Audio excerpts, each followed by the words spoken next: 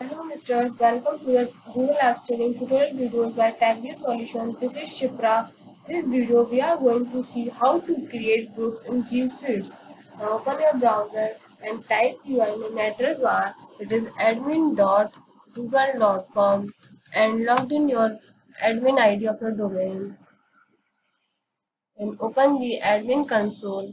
Click on groups and create a new group and name type the name of the group.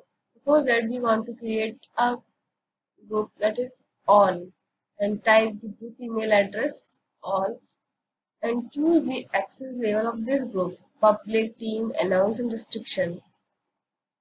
Suppose that we use as a public or we want to add all users in this group. So click on add users and click create and a group has been created. All users has been added in this group. Someone has sent the mail on all at uh, domain.com and mail will receive all users.